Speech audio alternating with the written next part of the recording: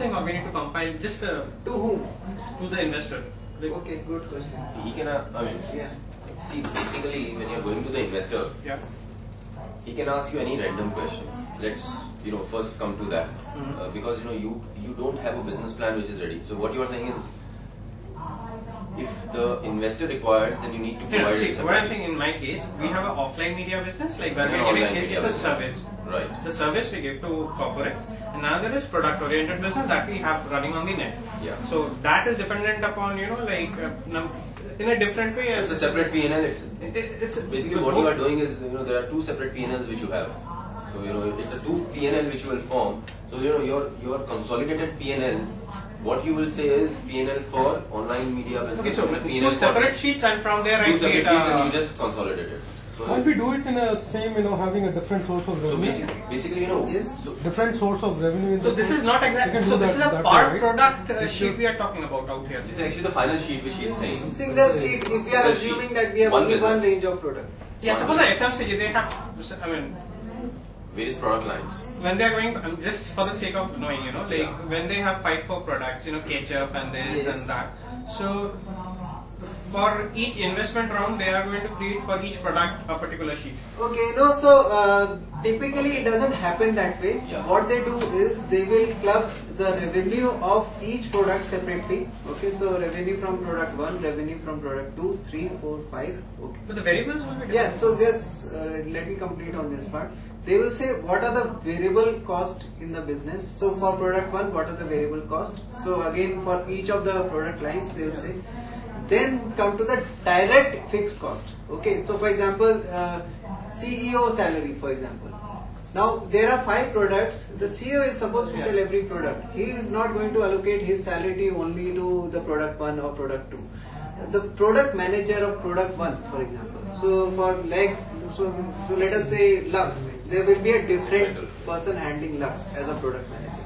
There's another person handling say Hamam, separate person. And maybe it's happening from the same factory and the same electrical Yes. consumption So is to divided. the point of allocation, okay, you can say that my product X is getting this much revenue. These are the cost of product X till the level I can segregate. CEO salary is divided across the products. Then I know product 1 these are my profit margins, product 2 these are my profit margins, product 3 these are my profit margins. So Okay. uh, it is better to uh, get it done in a, the product wise or uh, based on the different source of revenue, or it can be done uh, the cumulative. So because for for Yeah, example, so at the end of the day, a business will be looked in the cumulative parts. Okay. Again, there will be different questions on why you are into this business and why you are not into that business. Which business is having a higher growth? What are the strategic priorities you are having? For example, if you are doing online plus offline, why are you doing this? Which business has got higher margins? Which business has got higher growths? what are you going to invest in? For example, when you go to an investor and say, give me 1 crore, I will put 30 lakhs into this online business by taking maybe 5 people of 6 lakhs salary each. I will put 70 lakhs into the offline business by entering into some kind of a contract. I will pay upfront 70 lakhs for buying some content or some other strategy I might have. See, I think, uh, you know, if uh, I understand your question, Does, basically, does it answer your question or? uh, uh, no, my my my point. basically is- it's the assumption sheet.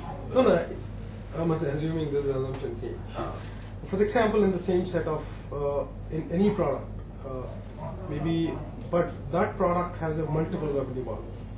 Because if if um, um, uh, in occurring a variable or fixed cost that is same, almost a very li- little variation, and if I keep on opening a different revenue model, so it won't make much difference in the So one is fixed you sell like a product, one you sell as a license, one you sell as a service, for example. Yeah. Same, same Yes. thing. Same thing, but in a different, saying. yeah, in So different basically, what, what's happening? It's a different revenue model that you have created for the business. Yes. So one revenue model, you you capture it. So basically, you know, this is like a P&L statement that you have. What generally see, what is an entrepreneur doing? Entrepreneur is presenting his business in the way which is understandable to the investor. Yeah, so that it brings all the pieces of the business into an Excel sheet. Excel sheet is just a presentation. Okay. So if you are selling three things, you need to have you know assumptions for all those three things. So you you will say, I am wearing this shirt. So this shirt is you know has some cotton to it. There's buttons. So these, this is the cost, and you know, this is the sale price. So I have, you know, this is assumption. So I have a revenue from one shirt of 100 rupees. I have a cost of 70 rupees.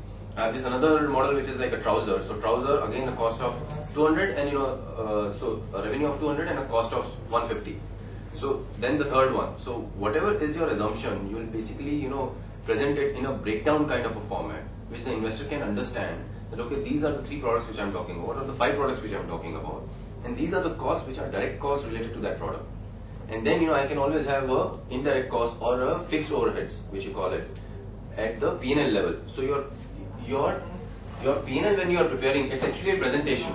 So let's not confuse what you are doing. You are just breaking up your product heads into a simple, presentable, uh, you know, format where the investor can understand the revenue and the uh, the variable costs.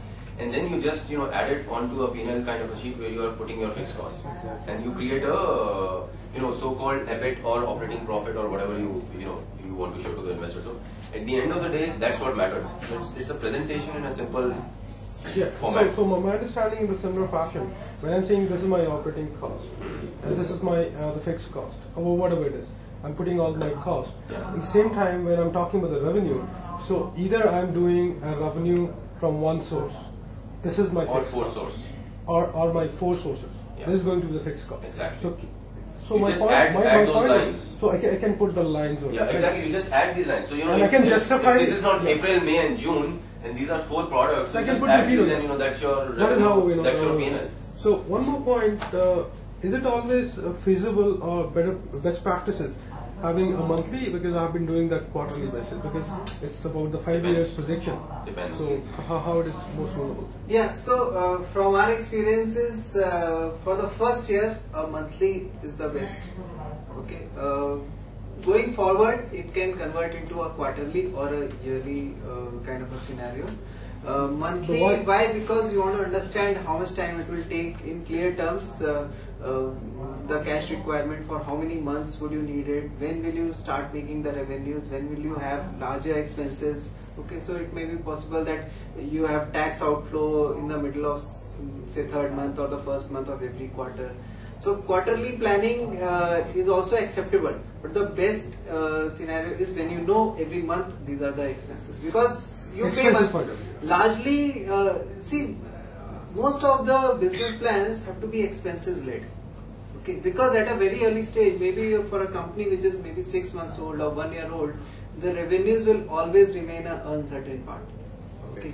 It may be in the larger scenario you can say the market is so large and i have the capability and i have shown that capability of getting these revenues Okay, for example, you say I was the um, say business head for X division of Wipro where I used to get half a million dollar.